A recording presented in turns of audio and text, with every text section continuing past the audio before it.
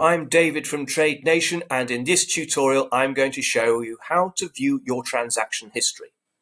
Okay, so I've got the trading platform up and running in front of me, and down at the bottom, we have the usual tabs that you can see open positions, opening orders, and then next one along, transaction history. So let's just click on there.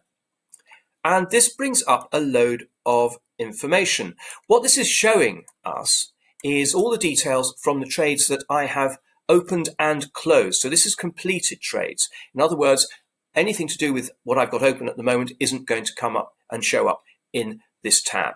But you can see from here, uh, it tells me that I opened uh, a trade on a certain date when I and uh, the time that I opened it, the closing date, the closing time, the market, and then it tells you whether the trade receivable or trade payable. What this is telling me is was that a profitable trade or did it result in a loss? And if you can uh, go along here, you can see the amount that I traded, the opening price, the closing price, the profit and loss. So trade receivable, that was a profit to me. That also means that I have my balance updated and it gives me the reference number of that particular trade.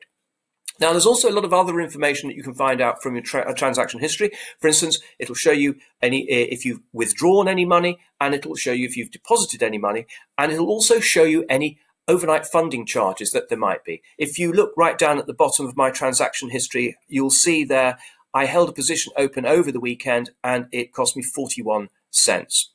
Now, this is just one day's worth of history. If you go and click on the view box, you can see that you can go back further. You can go back three days, five days, or all time. So click on five days and you can see there's a, there's a lot more information down there. It even shows you the deposit going into the account.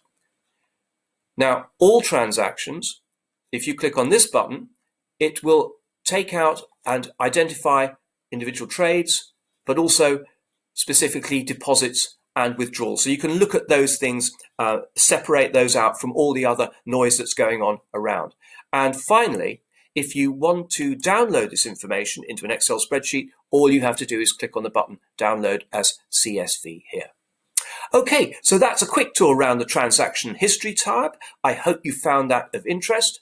And don't forget to keep in touch with everything that's going on with us at Trade Nation. Please go to our YouTube channel and click on the subscribe button.